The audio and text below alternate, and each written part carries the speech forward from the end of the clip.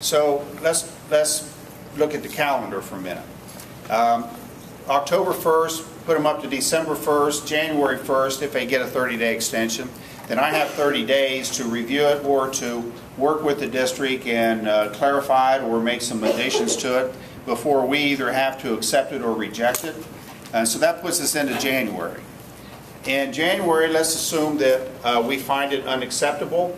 Uh, I would then get on my computer, get out my form letters, fill it in, send it to the Auditor of State's office and request that the district be placed in fiscal watch. In fiscal watch, uh, again, you have 60 days to uh, complete an acceptable recovery plan. And the chances are, if you couldn't do it for fiscal caution, you probably are not going to be able to do it for fiscal watch. But it does give you some time. And again, uh, another 120 days in essence you have from January. So that puts us up now to middle or to the end of May. Now that's important uh, right now because there's a possibility of having a levy in May which could prevent this fiscal emergency, if that's what it comes down to.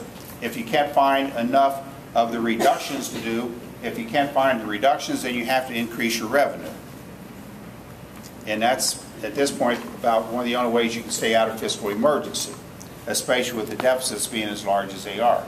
So the question now comes down as to what extent can we find reductions or can we find a recovery plan for fiscal caution or fiscal watch that is acceptable and um, we'll do the job for you.